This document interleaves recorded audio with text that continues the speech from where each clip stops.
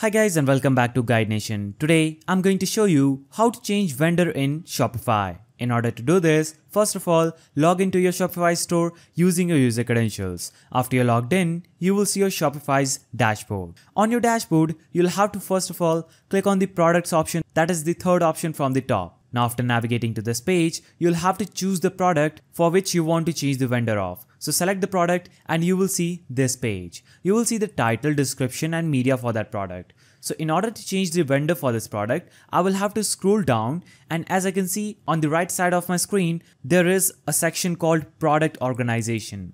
Under this section, I will see vendor. So the current vendor for this product is Shopify store. I will remove this and add another vendor that I want. So just type in the name of another vendor and click on add vendor and click on save.